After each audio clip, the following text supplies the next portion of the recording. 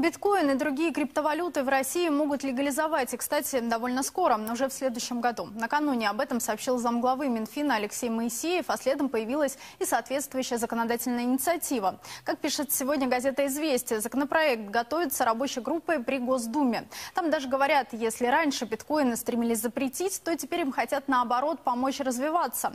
Как именно? Ну, во-первых, создать правовую базу и целые биржи криптовалюты по аналогии с проектами США и Японии. Кстати, интересуются технологией сами центральные банки. Ну, например, в Китае намерены выпустить собственную криптовалюту первыми. Ну, возможно, и российские финансовые власти не останутся в стороне. По крайней мере, известно, что российский центральный банк такую возможность тоже рассматривает, хотя с легализацией призвал повременить. Зачем это властям? Эксперты считают, им принципиально важен контроль за транзакциями.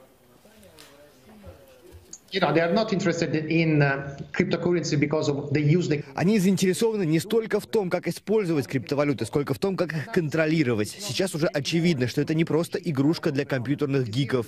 Обменный курс биткоина очень высок, и тот факт, что реально работающая валюта остается без всякого регулирования, серьезно беспокоит правительство. Сейчас в мире действует уже почти пять сотен различных криптовалют. Эксперты говорят, это временно. С развитием технологий рынок оставит только самые эффективные и востребованные.